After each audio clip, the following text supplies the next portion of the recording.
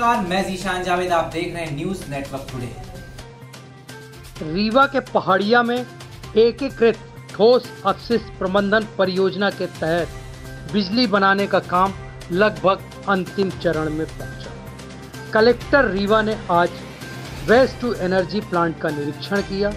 15 अगस्त तक सभी निर्माण पूरा करके बिजली उत्पादन शुरू करने के दिए निर्देश।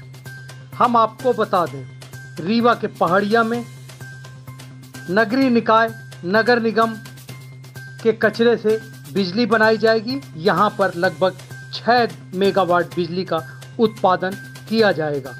आज रीवा कलेक्टर श्रीमती प्रतिभा पाल ने पहाड़िया में जाकर वेस्ट टू एनर्जी प्लांट का निरीक्षण किया। वहाँ पर उपस्थित अधिकारी कर्मचारियों को काम तेज़ी से पूरा करने की नसीहत दी। इस दौरान नगर निगम कमिश्नर श्रीमती संस्कृति जैन तथा पहाड़िया प्लांट के अधिकारीगण उपस्थित रहे। माना जा रहा है, पिछले काफ़ी अरसे से वेस्ट टू एनर्जी संयंत्र के तहत बिजली बनाने का काम यहाँ पर प्रोग्रेस था। अब निर्माण कार्य अंतिम चरण में है।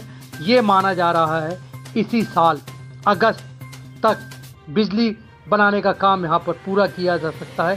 छः मेगावाट बिजली बनेगी, उससे रीवा की जनता को काफ़ी लाभ मिलने वाला इस बारे में हमने वेस्ट टू एनर्जी संयंत्र कब से प्रारंभ होगा, लेकर कलेक्टर रीवा श्रीमती प्रतिभा पाल से बात की। आइए आपको सुनाते हैं, उन्होंने क्या कुछ कहा। अपना जो रीवा क्लस्टर का वेस्ट एनर्जी प्लांट है, इसका विज़िट आज सभी लोगों ने किया है और इसमें ये देखा गया है कि इसकी जो कमेंसिंग की डेट है, वो बहुत पास आ गई है और काम लगभग अंतिम चरण की ओर है। सभी काम फिनिशिंग की ओर चल रहे हैं। हम लोग ये अपेक्षा कर रहे हैं कि अगस्त महीने में पहली फ़ीड ये प्लांट ले लेगा कचरे की।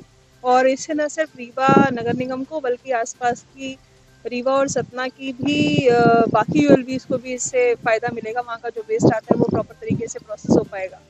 और जो म्यूनसिपल सॉलिड वेस्ट के रूल्स हैं या मैंडेट है जो म्यूनसिपल कॉर्पोरेशन का म्यूनसिपल बॉडीज़ का, वो भी पूरा होगा कि वेस्ट जो डेली कलेक्ट होता है वो सूखा और गीला अलग तरीके से आएगा।